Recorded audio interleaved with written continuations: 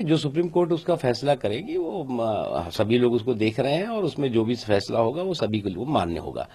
जहाँ तक सवाल है, कांग्रेस पार्टी का।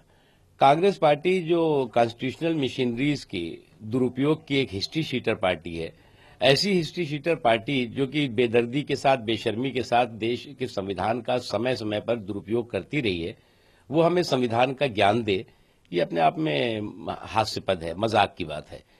हमें मालूम है हम पूरी तरह से कॉन्स्टिट्यूशनल कमिटमेंट के प्रति कमिटेड हैं।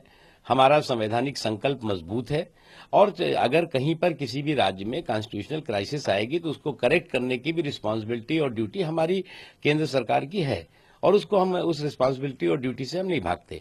हमें लगता है कि कांग्रेस पार्टी का जो अपना अनुभव है, जो गवर्नर हाउसेस का उसने दुरुपयोग किया है, जो कॉन्स्टिट्यूशनल मशीनरीज का उसने दुरुपयोग किया है उसका, उस अनुभव के आधार पर वो इस तरह के आरोप लगा रहे हैं। इसलिए हमने कहा ना कि कॉन्स्टिट्यूशनल मशीनरी के दुरुपयोग की एक हिस्ट्री शीटर पार्टी के रूप में कांग्रेस को देखा जा सकता है। उनका इतिहास भी कॉन्स्टिट्यूशनल संवैधानिक संस्थाओं के दुरुपयोग का है। उनका भूगोल भी संवैधानिक संस्थाओं के दुरुपयोग का है। क्योंकि अब इतिहास और भूगोल दोनों दागी और बागी हो चुका है, इसलिए वो बौखलाहट में इस तरह की बातें कर रहे हैं। मेरा ख्याल है कि सुप्रीम कोर्ट सही निर्णय लेगी।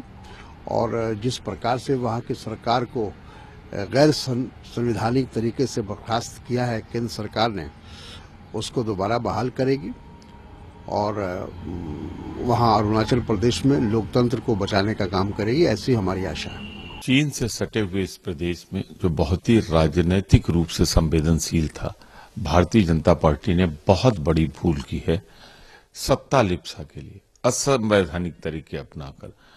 राज्यपाल के पद का दुरुपयोग करके जिस तरह वहाँ राष्ट्रपति शासन लगाया है, मुझे पूरा विश्वास है। सर्वोच्च न्यायालय इसका संज्ञान लेगा। इस लड़ाई को हम सड़क पर भी लड़ेंगे, न्यायालय में लड़ रहे हैं, और अगर आवश्यकता पड़ी तो राज्यसभा में, इस राज्यसभा में जैसे ही पहला दिन होगा, ये लाएँगे, हम इसे पारित नहीं होने देंगे और राष्ट्रपति शासन समाप्त हो